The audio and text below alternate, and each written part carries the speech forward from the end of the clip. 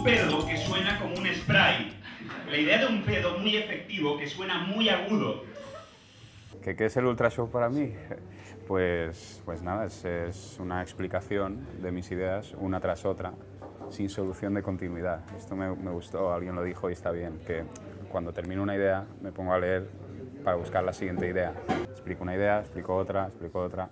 Los monólogos normalmente el tipo te va como metiendo ahí en sus ideas como por, un- por una ruta y en mi caso no, no hay ruta. Escoger esa lata, intentar dar con el borde que te sale de los dedos, ¿sabes? O sea, para eso he ido haciendo pequeño, ¿eh? plano, hasta que ha quedado esa puta lata ahí de, de, de Rejuvenator.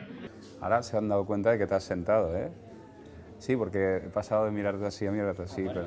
No, ponte tranquilo, no pasa nada. Un tío que está en la puerta, como haciéndote así, pegando, con camareros detrás y todo el mundo consumiendo detrás. ¿Qué, ¿Qué expectativas tengo? Me estás preguntando por las expectativas que tengo. Pues que, que la gente se lo pase bien y, y sentirme bien yo también haciéndolo. Siempre quiero conseguir estar muy a gusto en el menor tiempo posible, o sea que a la primera o segunda idea ya esté yo en mi salsa.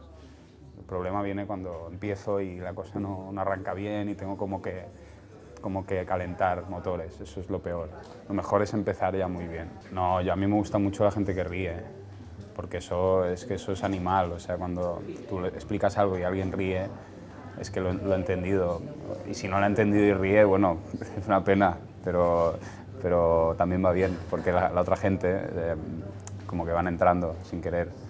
Pero la gente que se queda un poco descolocada nunca sabes interpretarla a tiempo real. Tú ves una cara ahí como seria y te, te da que, te da que pensar que igual no le está gustando y tal. Ha pasado, ¿eh? Que gente al acabar el Ultra Show me dicen, gente muy seria durante el Ultra Show, gente lívida, luego han dicho, me lo he pasado muy bien, me ha encantado, entonces está bien. La colaboración en Extraterrestre de Nacho Vigalondo es, es muy corta, o sea, grabamos un sábado, media jornada, y falta una escena más por grabar. Quiero decir que, es, que soy un personaje anecdótico que aparece en una pantalla.